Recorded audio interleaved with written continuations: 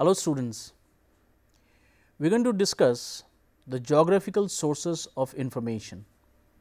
Now, this is extremely important topic for your this course. Now, what is exactly the geographical information sources? It is a source of information which provide information about a place such as cities, town, lakes, river, forest etc., regarding their location, distance description and other detail. So, basically what we are trying to look at the entire landscape of a particular place or a region. The examples are the distance between the cities, villages and talukas, the population size and the structure, the rivers, the oceans and the lakes and the restaurants of different cuisines. So, this is are some of the geographical information sources. Like for example, this picture is known to everybody. This picture this is a geographical map of India, where you can see the mountainous locations, you can see the rivers, you can see the different kinds of river banks and you can also see the which are the different through which particular region or locations this particular place is associated with. So, this particular map gives you a complete picture of geography of India. If you look at these six geographical regions, it can it is shown in a color here that there are six of them are there like one is eastern India, you have the southern India, you have the northeast India, the northern India, the western India and the Hindi belt. So, these are the some of the six regions which are deep, six geographical regions which are depicted here. Now, when you talk about a particular geographical regions and all, there are a couple of things which are extremely important as a library information science professional for you. Like for example, maps and atlases. Now, what is the most important thing you need to evaluate about the maps and atlases. Like for example, is authority, its currency because names keeps on changing, the revision policy, the encyclopedia information, the nationalism, the tropical approaches, the balance content, the quality of maps, the scale and projections, the topographical representation and the format. It also evaluation of maps the couple of things which also get into like vernacular versus language of the country of publication, like Florence versus Firenze or transliteration of names like Zurich, Zcrive. So, place name control, location of small towns, statistical data, subject access. So, these are some of the parameters of as far as the maps and atlases are concerned.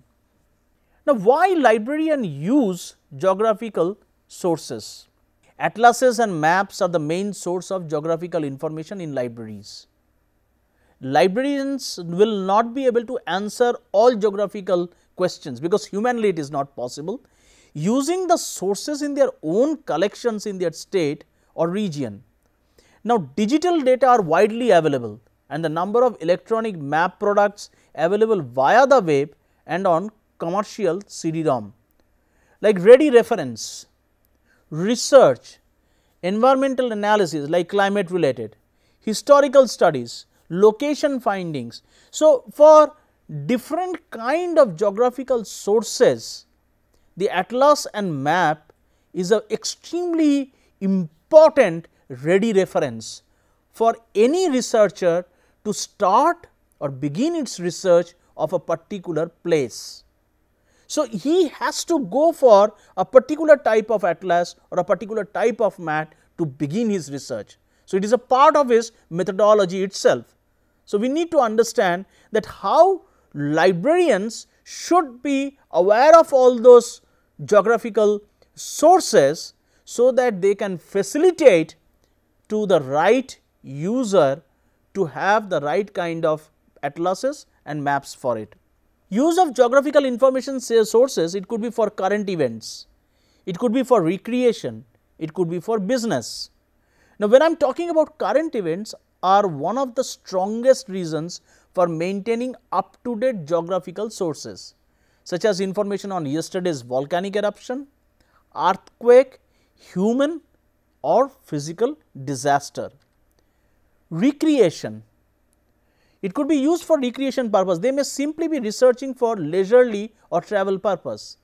Therefore, a large segment of the population is interested in information not only on local, state or national park, but also on cities and regions all over the world.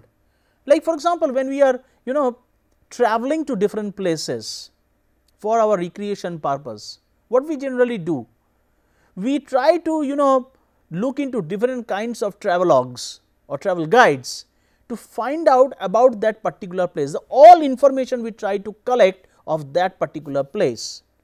Then for business travel, the particular travel of requires more information on cities and detailed information regarding subjects such as what are the hostel, what are the restaurants or what are the cuisines are related to that. For the business purpose when the different kinds of people for a business travel they are traveling to different places. Now, there is a historical geography, we look into the geography aspect in much more detail. This category can be generally divided into genealogy, military history and the place name changes. Now, genealogy is if a patron wants to find the location of a place where a relative lived. For example, the user may want a map of the town where an ancestor lived in southern Germany in 1860 military history, it has to do with information on particular wars that may have occurred in a special area. For example, the battle of Panipat. Place name changes, it has to do with the patrons requesting information on countries whose names may have been changed. Okay. So, these are some of the historical geographical information sources which are extremely important for a librarian to understand. Now, there are different types of geographical information sources. Let us see one by one. They are divided into three categories maps, atlas and globes. The second one is gazetteers and the third one is travel guides. Now, when we talk about maps, what is a map actually? It is a two dimensional graphic representation of selected parts of the earth surface. You must have come across a large number of maps since your childhood. Now, these maps are divided into two major categories. Please understand these are always categorized into two major parts. One is a general map and another is a specialized maps. So, we will see how these two maps are differentiated among each other. When I talk about general maps, physical maps, these are usually for the physical location and identification of countries, region, cities, towns, mountains, rivers etc. So, it is giving you know the physical uh, descriptions of a particular place. Then you have political maps. These sources are important to know the political boundaries of the different countries, states, cities etc. So, basically these are the border lines. So, it is extremely important. So, when you refer to a general map, you need to understand that which map based on the requirement of your user, you should be able to understand first what kind of map you, map you should look for, whether a physical map or is a political map. So, even if you a particular map or a atlas which is available in your library, you will see that there are two types of maps which are there side by side. So, one is a physical map and one is a political map. So, you can easily make a kind of a comparative of based on these two also. Then your specialized maps. Now, there are several categories of specialized maps like historical maps. These maps provide important developments in the history and indication development of war campaigns, adjustment of boundaries after vary, varying wars. Thematic maps. In these maps, various symbols and colors to show the distribution of quantitative and qualitative information. For example, population density of a place.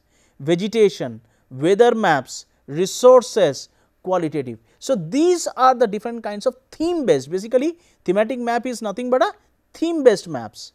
Then is a topographic map. It shows the relationship of geographic features to one another. These maps can show details such as underground mines, coastal lines etc. So, this is a topographic differentiation of a map is given into this. Then there is route map. These shows the real routes, rail routes, bridges, rivers etc. Navigational maps. Navigational maps used mostly by sailors and pilots where basically it gives you the direction because when they are sailing in the river the ship is sailing. So, this set the navigation compass. In the same way when some, when the pilot is there I mean he is there in on the flight. So, he shows shows him the path which particular place is the location to land or which is the route he has to follow a particular place. Then you have Mercator map. Shapes of continents are located at the poles and compressed at the equator. So, it is at the two poles. Online maps like MapQuest, Google Maps, Bing Maps, Yahoo Maps provide variable options for offer street level access for cities and towns. So, we will take in detail the what are the different kinds of online maps are available and how these maps are useful today in our day to day life. So, we will take one by one in details also. Now, let us talk about atlases, a book or a collection of maps. So, we have discussed in the previous slides on maps. Now, this is a book of collection of maps and geographical information that includes pictures or tables and charts. Now, when you talk about an atlas, it is divided into three major categories. You have general atlas, you have subject atlas, you have road atlases. So, you need to understand, so there are general atlas, subject atlas, road atlas. The types of atlases now we will see it in detail like for example, general atlas. It may contain maps on a variety of topics such as climate, population, economic activities and environment. The time comprehensive atlas of the world like for example, Hammond Standard World Atlas, Atlas of the Universe, Atlas of Western Civilization. Then we come to subject atlas, geographical maps showing changes or activities over time such as borders, military campaigns, exploration and cultural differences. For example, World Atlas of Birds, Human Anatomy Atlas, Hammond Standard World Atlas, Atlas of World History. So, these are basically subject atlas. Then we come to Road Atlas. It contains maps that show major highways and secondary roads for geographical areas. For example, the National Geographic Atlas of the world, in fact, this is an extremely important document for any library should have, the National Geographic Atlas of the world, Rand McNally Road Atlas, Hamlin's Road Atlas of Australia, Europa Auto Atlasa, Road Atlas of Europe. So, these are some of the road atlas which shows that different paths or different national highways or secondary roads or bylanes these are all depicted into that with their length, breadth and every detail. So, all descriptions were all given into it. Now, we will see here different kinds of atlases which you can see here which we have just discussed now. So, you can see these are some of the pictorial depictions of like Hammond Standards World Atlas, then there is a atlas of world history, then road atlas you can see there is a picture, then there is a atlas of the world, then you see this is a world atlas of the birds and this is a large scale road atlas of the Britain. This is a Britannica world atlas which is very famous and this is a world atlas here which you also can see from Hammond and there is a another road atlas also here. So, these are the different categories of atlases one is general atlas, one is a subject atlas, another is your road atlas. When we talk about solar atlas, this is a very interesting example. See, this is a solar atlas of India. Means if you want to see the where, where is the direct normal solar resource is coming in, so in different states. So, you can easily depict it in the in the atlas.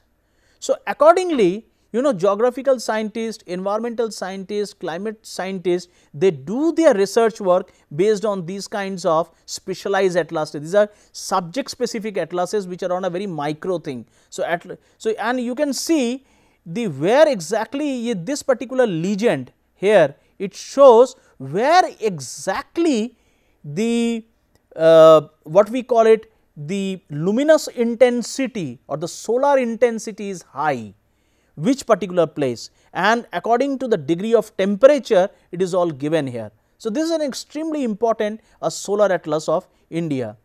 This is on hills and plateaus of Gujarat.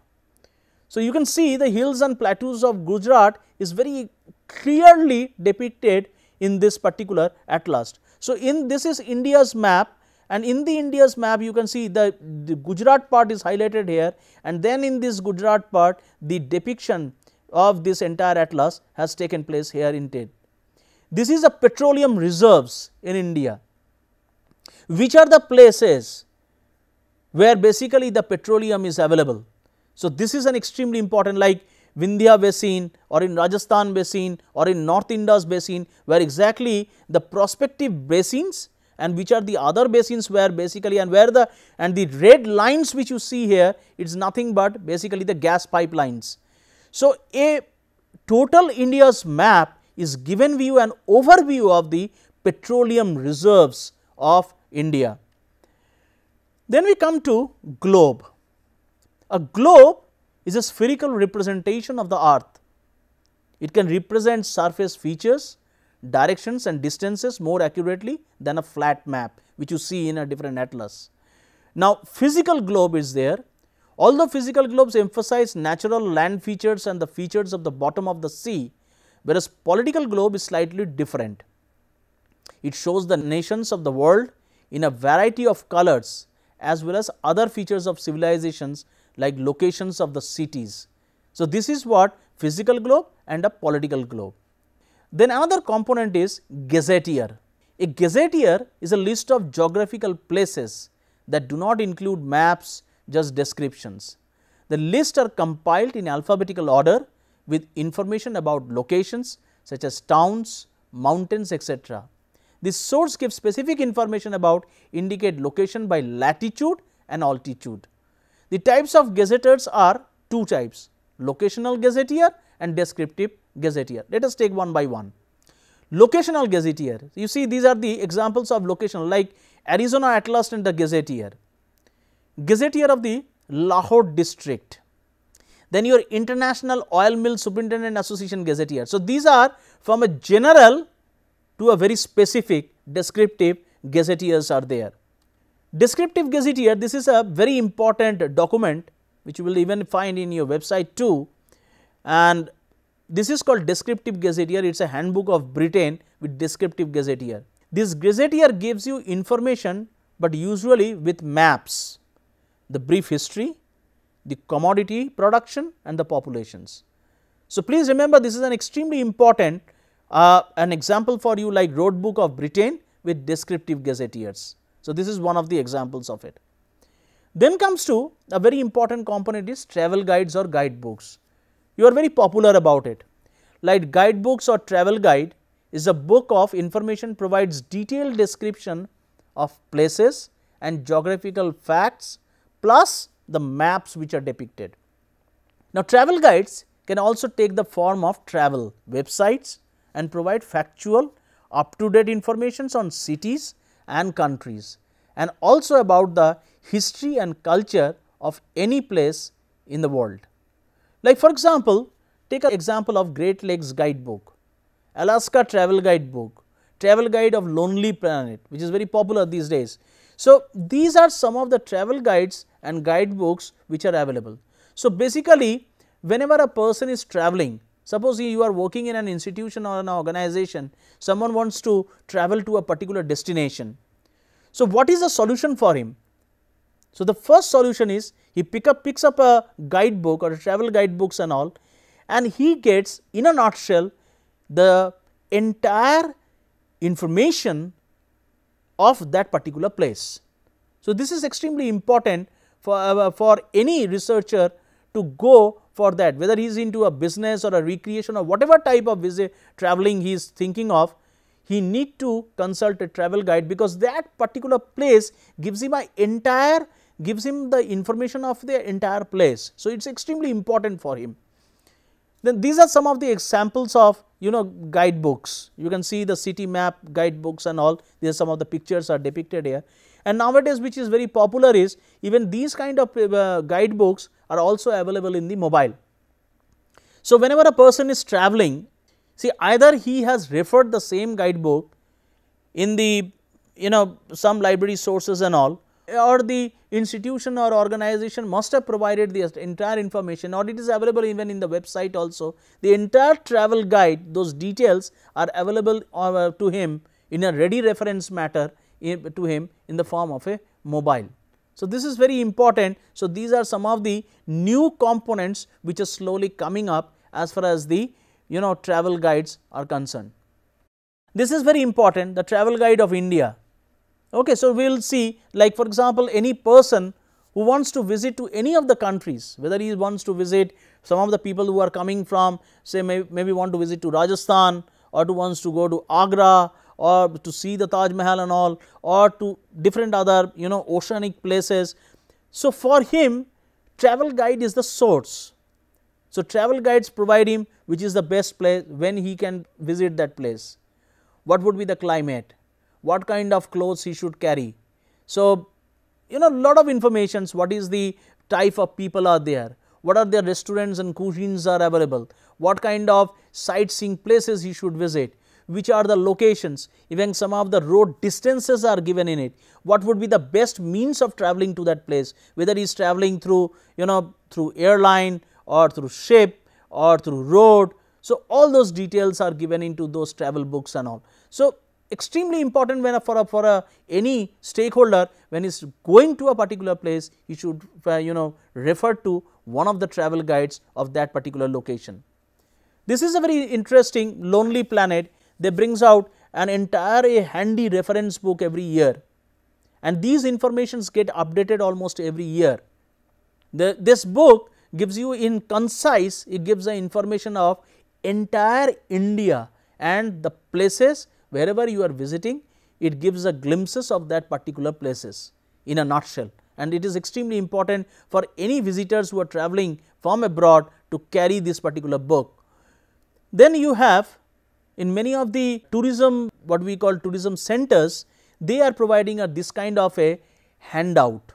It is a basically nothing but a pocket handout because this a kind of a planner shape uh, a, a handout which folds into multiple folds and you can keep it in a pocket and gives you the entire informations of a particular place. This is a network of the Delhi metro network. You can see the roads and everything. Then comes your geographical information. A GIS is a computer based capable of assembling, storing, manipulating and displaying geographical reference information, data identified according to their locations. It was discovered by Tomlinson in 1998 with the leader of Canadian Geographical Information System. So, this is a setup of a geographical where hardware, software, people, data, network procedures are required as far as the GIS is concerned. This is a sample of a GIS maps or a particular region the different locations and with the help of that one can easily find out that what this particular location is. Now, it is talks about geography, cartography, computer aided design and computer graphics. Now, it can be used even in the library field you can use the GIS like user education, systematic shelving, detail about location of library users, mapping of book suppliers that can also be used. This is an example of a GIS ArcMap which is used in the library to locate a various place. So, this kind of an advanced software can also be used for the landscape of a library. This is the first internet mapping site which you can see here which is a pictorial demography was given into it. This is a town and country planning where the town and the country how they are planned with the help of a geographical information system. Now, this is a GPRS which is very popular these days that even the mobile if you write your destination from the starting to the end point, it will show you a complete path how you should travel to that place. It will show you all the entire directions and all. This is a entire kind of a GPRS systems you can have a look at it that how these things it is a dynamic thing and in your mobile it can have this kind of changes also and shows the different locations. Now, there are various GIS journals which are available in the library cartography, GIS related and all. These are specialty journals on GIS laws, grass clippings, GIS Europe. These are regular GIS papers like Cartographica, Cartography and GIS, Computer Geosciences, IEEE and all. These are occasional papers on GIS, Cartographic Perspective, Journal of Cartography and all.